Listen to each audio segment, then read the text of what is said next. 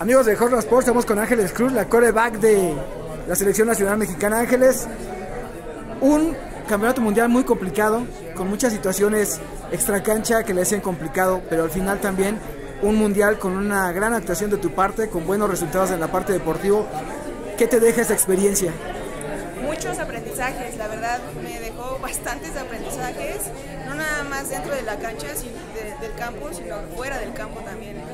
La verdad es que la unión que tuvo este equipo, la unión que tuvimos staff jugadoras fue lo que yo me quedo, es lo que yo me quedo. Eh, nosotros tuvimos que hacer absolutamente todo lo que estaba en nuestras manos, antes, durante y después del Mundial. Entonces, yo creo que esto es una de las mejores experiencias de mi vida ah, hasta el momento, entonces me deja mucho, me deja bastante. Una pesadilla poder llegar hasta allá o toda una aventura pero eres la MVP del primer partido.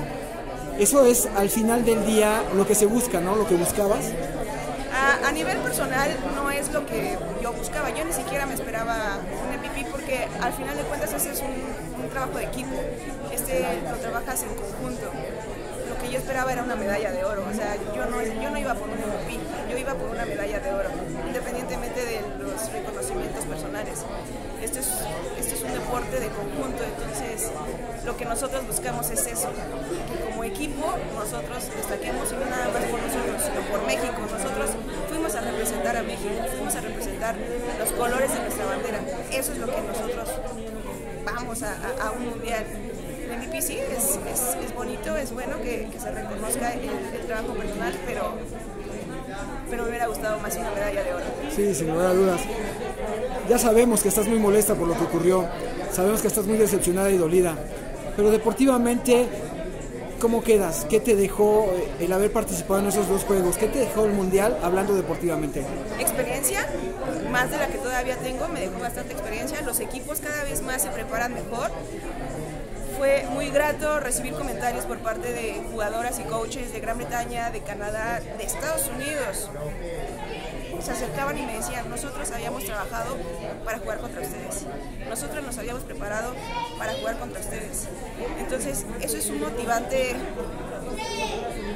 muy, muy cañón para que tú digas, oh, no puede ser, sí, sí, se nos negó esa oportunidad, pero bueno, tienes que trabajar para el siguiente. Yo la verdad es que estoy satisfecha, más no contenta, porque por parte de las jugadoras no quedó, por parte del equipo no quedó.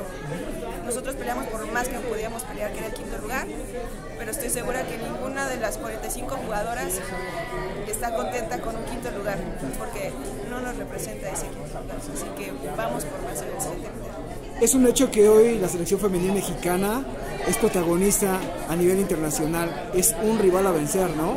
Al menos así lo dijeron las selecciones contrincantes. ¿no? Claro, te repito, o sea, yo tenía incluso diálogos con jugadoras eh, antes del Mundial, donde incluso hasta nos retábamos, así como de, ay, mira, eh, nos toca el primer juego contra ustedes, ah, sí, pues nos vamos a sacar la espinita contra ustedes, y nosotros, perfecto, vamos a, darle a ver quién tiene un mejor fútbol, quién tiene más ¿Sí te había retado con las de Gran Bretaña? Claro que sí, claro que sí, esto es lo bonito del fútbol, tienes amistades no nada más eh, en tu país, tienes, esto es más allá de una frontera, y es una sana competencia, entonces, créanme, nosotros nos disputamos la medalla de bronce el mundial pasado contra Gran Bretaña, entonces era nuestro primer partido en este mundial.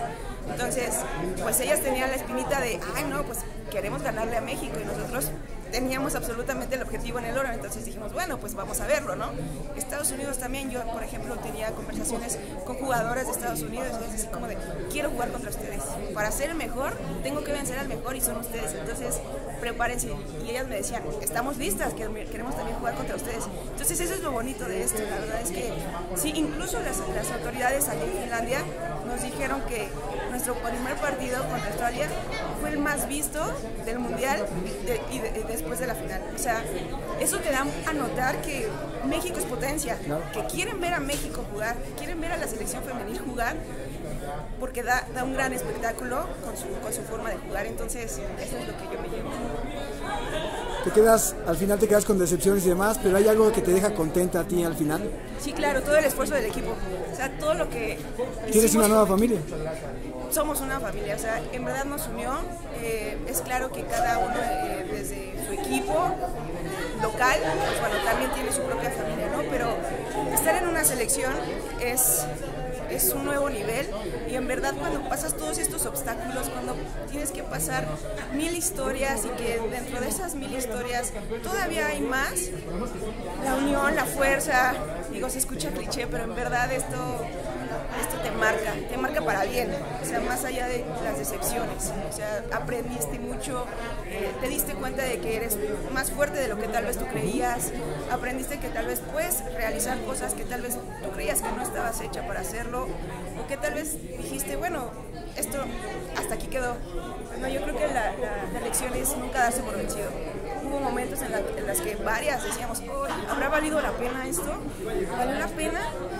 Llegaba un nuevo reto y ok, ya valió la pena, ya conseguimos vuelos y después no llegaban todas y era así como de, oye, ¿habrá valido la pena?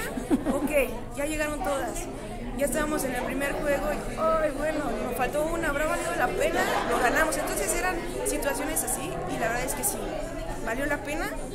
No estamos contentas porque nosotros sabíamos que éramos para una preciada en la final y el estar viendo a los equipos recibir su medalla, también créeme que fue como un flechazo, un, golpe bajo, ¿sabes? Porque las ves y dices, nosotras debemos de haber estado ahí. ¿Qué le dices hoy a ese, esa placa de la MVP cuando pasas ahí junto a ella? ¿Qué le dices? ¿Te le quedas viendo y le dices algo o simplemente la ignoras? No, para nada. Para mi MVP esto es, eh, ¿te refieres Sí, a tu trofeo de MVP. Cuando pasas junto a él ahora ahí en tu casa, ¿qué le dices? ¿Solo te le quedas viendo? ¿Le dices algo? Qué guapo está. no, la verdad es que es bonito, es bonito que te reconozcan el trabajo, la verdad es que lo trabajé, o sea, lo trabajé desde hace más de 10 años en el, Mundial pasado, este, hicimos un buen papel, me hubiera gustado dar un poquito más y a partir de ahí fue cuando dije, en este Mundial va a ser, va a ser otra, otra historia. Bueno, así fue. Muchas gracias y felicidades. Muchas gracias.